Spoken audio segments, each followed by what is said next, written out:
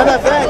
بس دول أصلا دول جايين شركات عاملين استثمار وعاملين بتاع عشان إيه؟ فيسبوك يشتغلوا يديلهم فلوس. العربيات اللي وعندهم في الفيسبوك يعملهم. اللي هي ام 1000 جنيه ونص البطاقه اللي هي الزيرو. أنا أقول أنا أنا أقول حاجة تصدق وتؤمن بالله.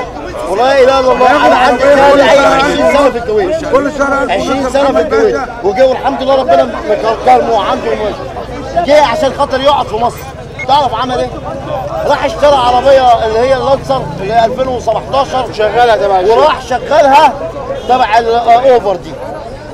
يعني معنى صح واخد بالك؟ يعني أوبر وكريم شركة كريم. وشركة أوبر. يعني معنى صح الناس المرتاحه المرتاحة بيشغلوها. يعني بيشغلوا اللي مش محتاجين اللي مش محتاجين وإحنا محتاجين قاعدين بنلف ونلف على البلد دي مش عارفين. نجيب عربية ملهاش شركات واحد سواق